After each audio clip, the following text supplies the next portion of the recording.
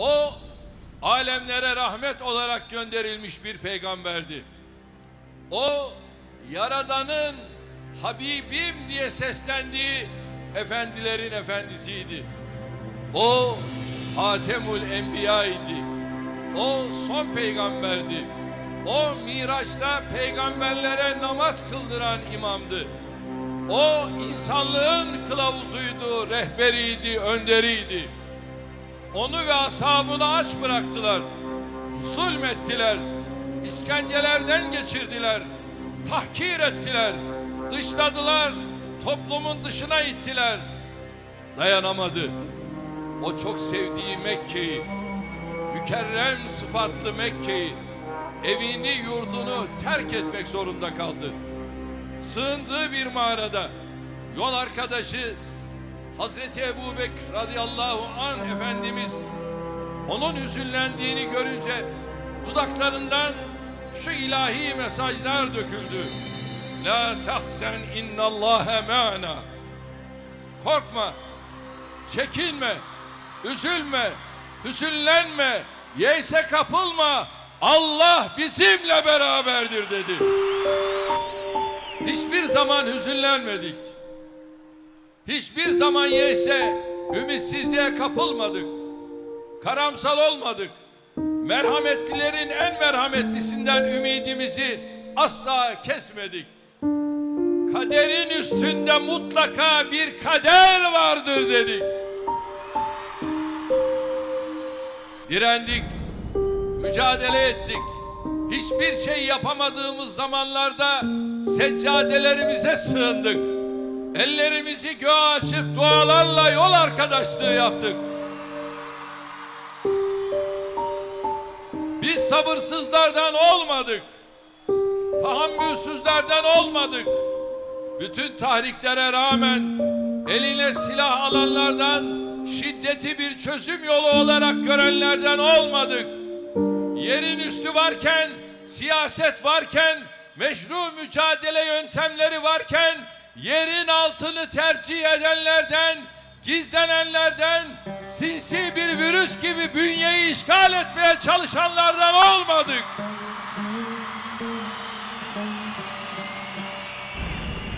Biz bu toprakların, bu vatanın evladı, biz bu ecdadın aziz şehitlerin torunlarıyız.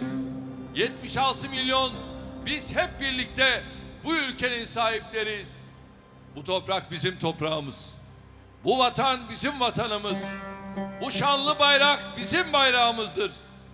Biz kendi vatanında, kendi toprağında, kendi milletine karşı şiddete tevessül edenlerden asla olmayız. Bunu asla onaylamayız. Şunu herkesin bilmesini istiyorum. Bizim mücadelemiz hak mücadelesidir. Bizim mücadelemiz adalet mücadelesi, hukuk mücadelesi.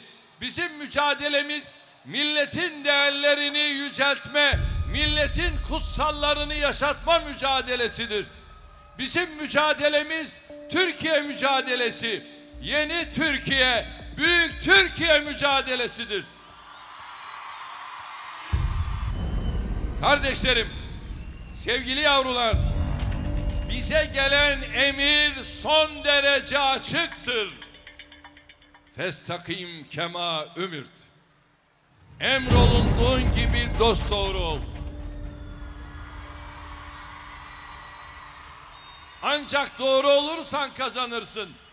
Ancak dik durursan başarırsın.